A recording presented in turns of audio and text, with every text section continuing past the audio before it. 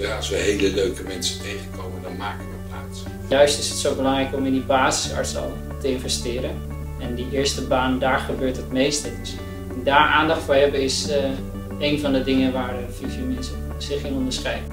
Je krijgt ook maar één kans om, uh, om van een jonge professional een hele goede professional te maken. En dus zet je uh, je, je professionals, je specialisten ouderengeneeskunde, maar ook al die andere professionals, in een positie waarin zij samen met de cliënt nadenken over en wat is nou het antwoord op uw zorgvraag.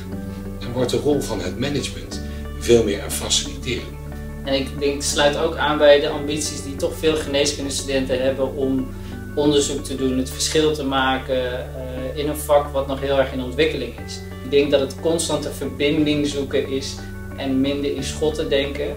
Want de demografie houdt zich niet aan schotten. Ga er maar aan staan van specialist ouderengeneeskunde. Tussen al die mensen die er ook wat van vinden. Uh, dat, is, dat is moeilijker dan je denkt, maar wel heel leuk.